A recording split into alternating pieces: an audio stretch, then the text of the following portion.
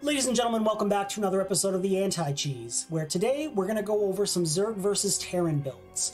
Today we're going to cover Proxy 2 racks, we're going to cover Proxy 4 racks, and we're going to cover 2 on 1. Now, I would not consider 2 on 1 a cheese in any way, shape, or form. It's not even an all-in. It can be, but it's realistically just an opener.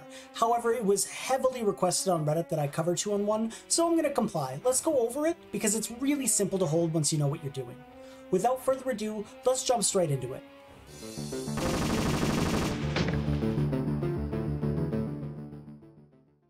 So before we start the replay, let's talk about what it is. First up, we have Proxy 2 racks.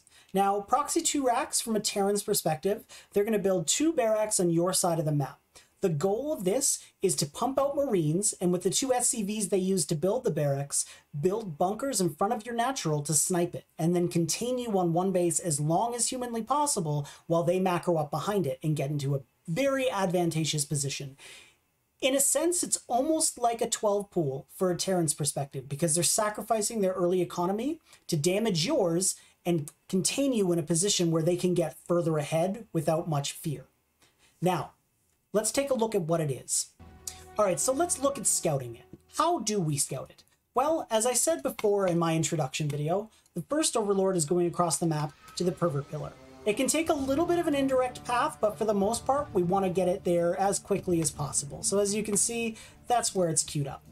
Our second Overlord is going to go to the most common proxy spots. Now, you're not always going to scout it. There will be times where you miss it. But as long as we are conscientiously aware that the second Overlord needs to at least scout for proxies, we should find it most of the time. Now I'm going to speed it up. We're going to put it on my perspective.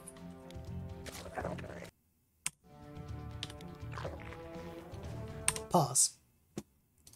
So this is what scouting it looks like. This is a fairly common proxy spot. I'm not 100% on the new maps where the you know the stock standard proxy spots are going to be, but from my limited experience playing on them, this is a really common one, and then up here is a really common one, and sometimes up here. Now, if it's really far away, like if it's at this 9 o'clock base, we it's difficult to pull drones because we're not going to get there in time. But thankfully, for the most part, whenever I've done dealt with proxy racks, it's usually here or here, somewhere close enough where we can pull drones. So what is our initial response? Pull the drones. How many do we want to pull? I would say we have to pull enough, but not enough that we're not mining whatsoever. So again, a real safe number is between 10 and 13. Like that's a, it's a solid number. I don't actually know how many I pull. Um, 2, 4, 6, 7, 8, 9, 10, 11, 12. 12. So these drones, if we can, we need to take a take a breath. You know, we're not in any immediate danger yet. So keeping a cool, calm, collective state of mind is key. What we want to do is put two drones to attack each SCV, and the rest of the drones are just going to be attacking the racks, waiting for the Marines to pop out. The idea behind this is yes, we are losing a lot of mining time, but we're buying time for our lings to get out. And any marine that pops out is just going to get surrounded by the drones and it's going to die. We are going to stop the rush before it happens. Now, if these two SCVs survive, what are they going to do? They're going to come over here and they're going to try and build bunkers. If we see that, we just need to pull two more drones and or we can pull them from here and we just need to attack that SCV. We just need to prevent the bunkers going up from as long as possible. As soon as our spawning pool finishes, we need to make lings, queens, and we just need a single spine. So, the marine pops, and look, I can't even do anything about it because it's it's stuck, right? So that's actually kind of smart on his end. But I prevent this bunker from going up. So I know I'm at an advantageous position right now. I'm not mining. So I was hope I was expecting another SCV to be right there. That's why I had that little delay on my drones. But since there isn't, we're just going to put them right back to mining at the natural so we can minimize our lost mining time. We are going to lose a lot of mining time. It's inevitable. But that's how we're going to hold this build.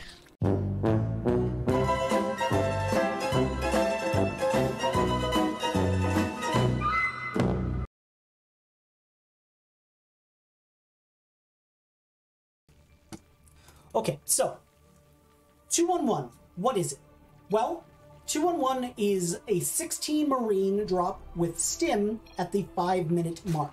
So when I say five minutes, I mean they're leaving their base at five minutes. Now, the time when they drop can vary depending on the rush distance, depending on the map, but typically you can expect it around the five minute 20 mark to the five minute 30 mark. Again, this could all be different depending on your opponent's skill level as well, but let's just prepare for the normal, shall we? So, how do we scout 211? And what is the goal of 211? Well, the goal of 2 on 1 realistically is to just get damage done, push back the creep, and ideally, if they can, snipe the third. But realistically, 2 on 1's been so figured out that they usually don't even get that. They usually are just able to push back the creep, body check a little bit, and transition into a normal macro game themselves. There's different versions of 2 on 1. There's a 3 racks 2 on 1, there's a 2 base committed 2 on 1, doesn't really matter because the initial attack is always going to be the same. And after we've held the initial attack, we're going to need to scout again to see what the next game plan is. But how do we scout 2 on 1, more importantly? So we're going to put it on my vision. So as you can see, I've got one Overlord positioned outside of his main. And I've got one on the Pervert Pillar. So a really good time to scout is right around the 3 minute 30 second mark. So I'm going to actually send them both in. We lose this one, but if we only had this one, all we would have seen, we actually would have seen both. But this one's coming in. When you see two Raxes like this, especially one with a tech lab on it and something's upgrading, this is 2 on 1. There's no doubt about it. And 2 on 1 means two barracks, one factory, one starport. So, what do we do when we scout it? Our initial response is nothing. We just need to make drones. This is in this is just a fantastic opener for a Zerg player because again, at the time when it came out, when ByuN invented this, it was terrifying. But it's been so long because he started doing this in 2016 that it's quite well figured out. All we need to do is drone continuous queen production, and we don't need to stop droning until the 4 minute 30 mark. That's it. That is our initial response. We need to get it into our head. When we see this, oh, I can drone. We're just going to non-stop make queens, drone till 4 minutes 30 seconds, and then we're going to continue nothing but ling production until we hold it. How are we going to hold it? Well, let's speed it up. So we've got queens here versus Terran. There really isn't a terrible amount of queens that we can have. Queens are always useful. And at the top of the ladder, again, they're one of the most complained about units in the game. And at the bottom of the ladder, they're so underutilized and underused. Queens do not have to be stuck at the waist to a hatchery. They have legs. And on creep, they can move at a decent speed. So, versus Terran, Ideally, what I like to do is go up to six to eight creep spreading queens and then one per base for injects. Six to eight queens will hold almost all Terran aggression if they are in position properly. We are still droning, as you can see. I don't even stop droning until right around now. So now I'm starting ling production. So I know that it's coming. So what do I do? I split up a couple lings, and I just have them on hold position.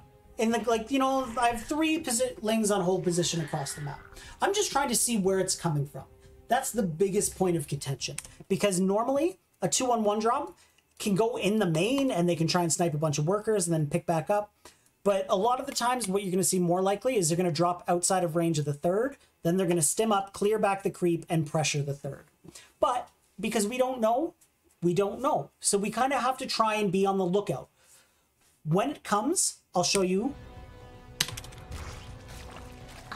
So we saw it. He walked past our ling, so we know where we're in, where it's coming from. So we move into position. Our queens here, we have six queens and a big ball of lings.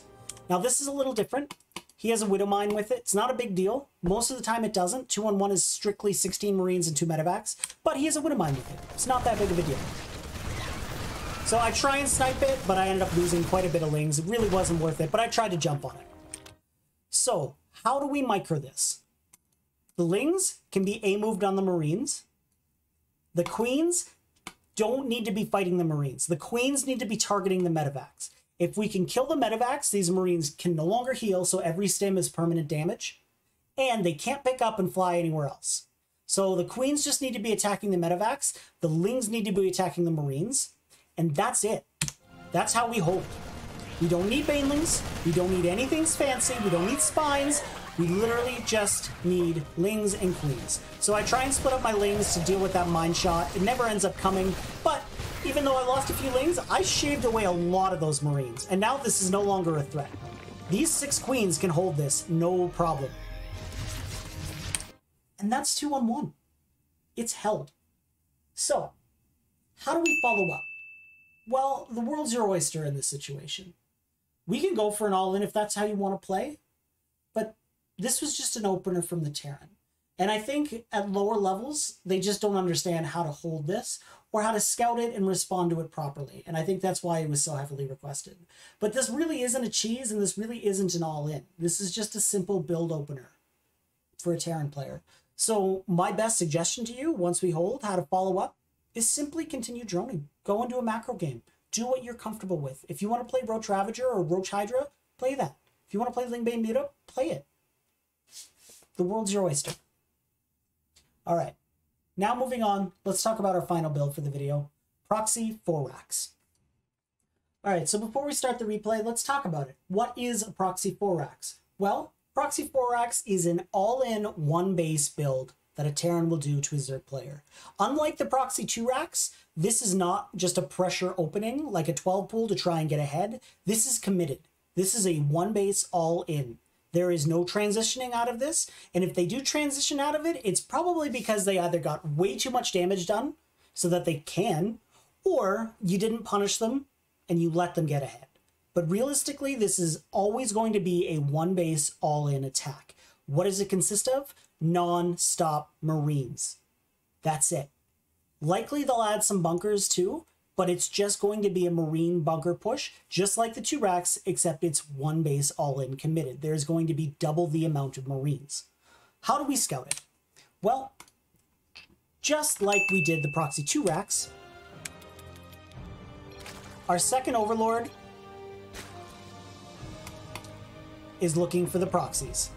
What do we see? Three this time. Now, uh, I mean, he said it in chat but a lot of the times you will have a Terran player who builds one at home. That way, the first Overlord that goes across the map, that Jedi mind tricks, they're trying to sell it as a more legit build. If we ever see more than one Rax being proxied, sorry, let me rephrase that because I screwed up. If we ever see more than two Raxes being proxied, we know this is an all-in committed one base attack. Yes, there's an infinite number of builds this could be. Yes, there's an infinite number of ways that this isn't a one base all in when you're below fucking masters or something like that. I don't care. We're talking about the normal. We're t- even if you are a silver league player, I want you responding the same mentality and the same knowledge as a grandmaster player because if you start with that mentality, there's no adjustment period and you will get better much faster. We see more than two racks as being proxied, one base. Keep it simple. Now, what is our initial response? Okay, so unlike the proxy two racks, this one, I see the position he's building the, uh, the barracks in, and it's... Okay, so unlike the proxy two racks, I can see the position he's building the barracks in. It's going to be difficult for me to pull the drones and get anything done. So I make the painful decision not to. And you know what? If you can pull the drones, it's still a good idea. It's the exact same as a proxy 2x in that initial response. But see how he's building them so tight against the wall? If you see something like this, I mean, if you want to keep it standard and always respond the same way, pull the drone, see what you can do. But I know that I'm not going to get much done. I might be able to shut this one down, but this one's already done and producing Marines. So all it has to do is finish, get stuck in here, and it'll be able to slowly whittle away my workers. So I decide not to. And again, we know that this is a one base all in. So our initial response either has to be pull the drones or don't and get spines. I don't cancel my natural. And there's a big reason why I don't cancel my natural. Yes, it would be nice to get those 300 minerals back, and yes, I know it's going to be sacrificed and die.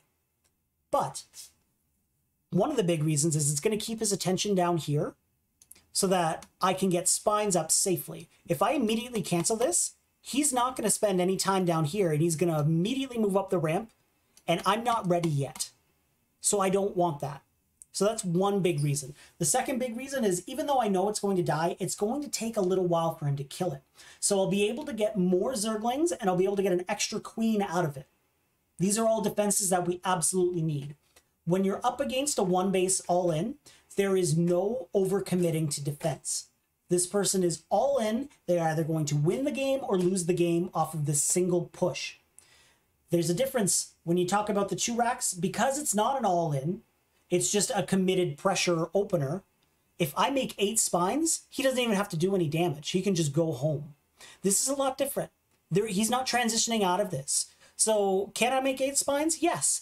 But I don't want to make them all off the bat because I don't want to lose all my mining time. But you can go up to eight spines and still be okay, is what I'm trying to say. There's no overcommitting to the defense. All we have to do is hold this push to win the game.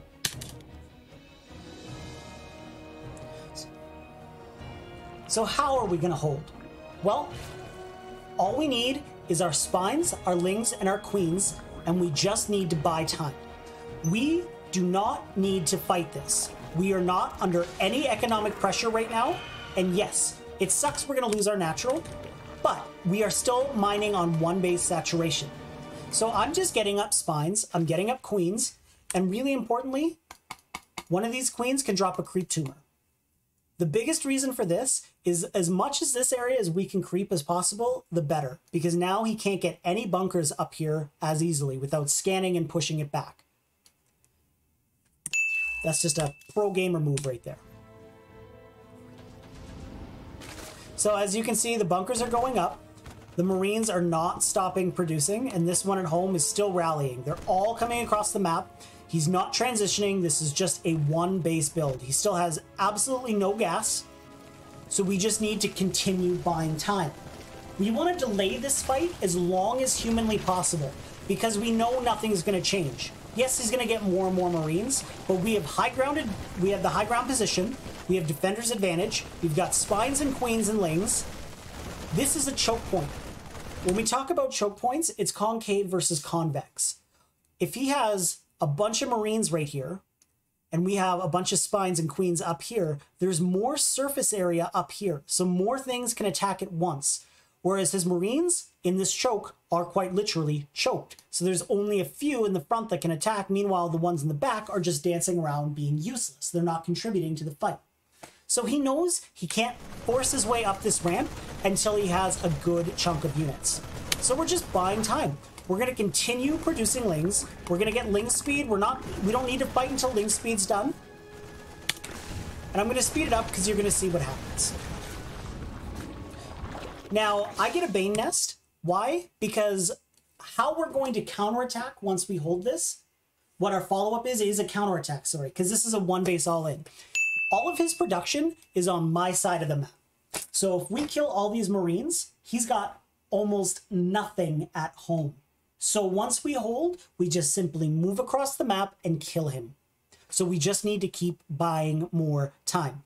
I get the Baneling Nest because, again, we have high ground vision and there's a big threat of him walking up, connecting with a Baneling, and losing a bunch of his Marines. So the game goes on and on and on and on. I just, I even told him because I just wanted to make sure that he wasn't actually going to cheese me out and expand and go into a normal game. But this is this is normally how it's done. Now, he's being very cautious. He's waiting to get more and more Marines. As you can see, he's already got 26, up to 30. That's a big number of Marines. But he knows he can't get bunkers up on the high ground. So what do we need to do? Continue Zergling and Queen production. There is no overcommitting to defending a one base all-in attack. Now, I'm going to show you what ends up happening.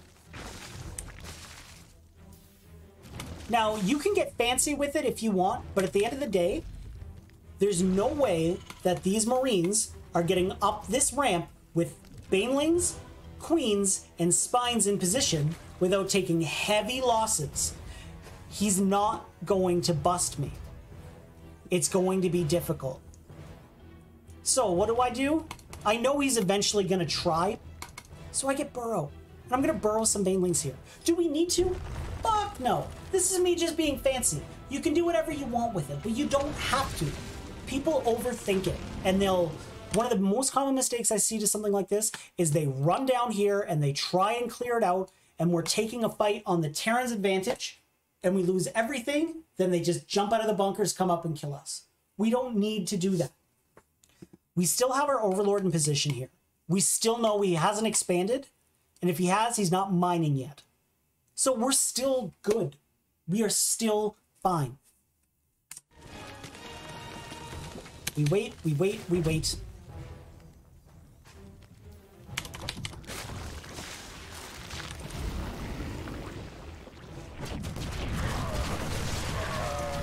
Being patient. This is the pro gamer move. He even scans. He sees the burrow banelings, but he doesn't notice them. Not that it matters. It really doesn't. But I wait, I wait. The trigger discipline.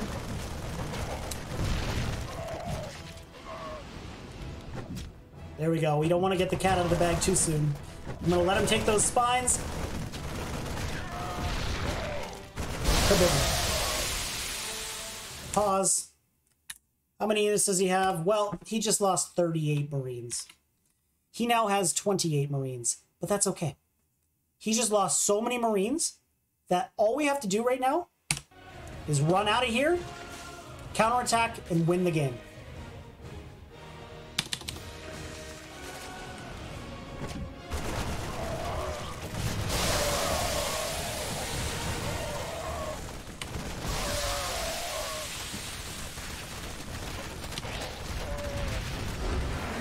GG, well played. That's it. All right. All right, and that about ends this video as I sit here in Premiere editing it. Um, I hope you learned something. Good luck, have fun. If you have any questions, comments, concerns, you want to see a build covered, something like that, please leave a comment below. Please consider subscribing if you liked what you saw. Most importantly, have fun.